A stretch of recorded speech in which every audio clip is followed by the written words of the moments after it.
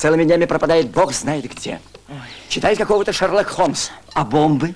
Он тащит их в дом. Текай, ща как шарахнет! Володя! Уголовный розыск я всю жизнь мечтал. До Октябрьских мы должны их всех скрутить. Уехал на операцию! Это ж надо. Еще только самогонные аппараты не делают. Ну вот как вы себе представляете?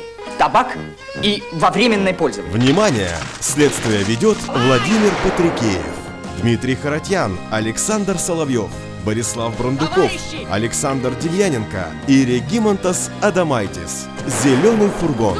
Сегодня кино после семи на ОТС.